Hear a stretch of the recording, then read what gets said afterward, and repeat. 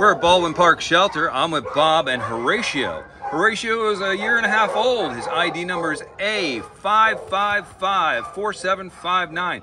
He's probably a Doberman Pinscher mix.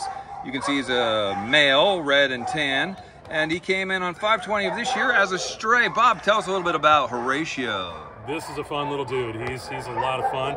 Um, he loves playing with the ball. You know, he walks really well on leash. Knows some basic commands. Um, yeah, Horatio is uh, what I would call a teenager, being at a year and a half old.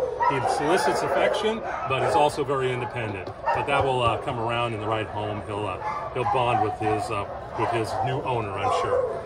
Good boy. Great. He loves praise. Great. Good to meet you, Horatio, and thank you, Bob.